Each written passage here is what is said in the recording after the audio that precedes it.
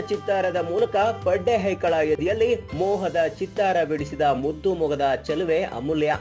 ಇನ್ನು ಪುಟ್ಟ ಹುಡುಗಿಯಂತೆ ಕಾಣೋ ಈ ಬೊಂಬೆ ಇಷ್ಟು ಬೇಗ ಮದುವೆಗೆ ಹೂ ಅಂದಿರೋದೇ ಅಚ್ಚರಿ.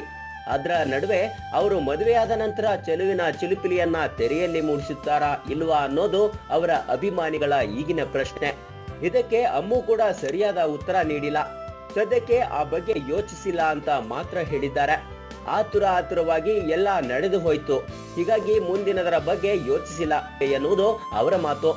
ಅಲ್ಲಿಗೆ ಅಮ್ಮು ಮತ್ತೆ ನಟನೆ ಮಾಡ್ತಾರಾ ಇಲ್ವಾ ಅನ್ನೋ ಪ್ರಶ್ನೆಗೆ ಉತ್ತರ ಸಿಗೋಕೆ ಇನ್ನೂ ಸ್ವಲ್ಪ ದಿನ ಕಾಯೋದಷ್ಟೇ ಅಮೂಲ್ಯ ಅಭಿಮಾನಿಗಳ ಆಯ್ಕೆ.